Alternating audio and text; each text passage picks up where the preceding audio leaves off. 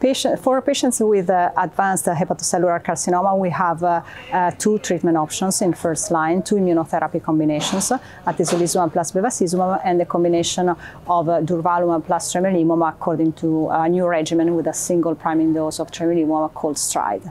We also have tyrosine kinase inhibitors, sorafenib and lenvatinib, that we were used in, to use in the past before immunotherapy. So most of patients nowadays receive immunotherapy.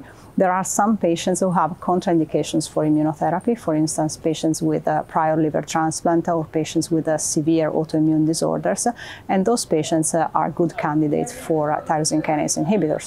Or in some countries where uh, immunotherapy is not available, tyrosine kinase inhibitors still have a role also in first line.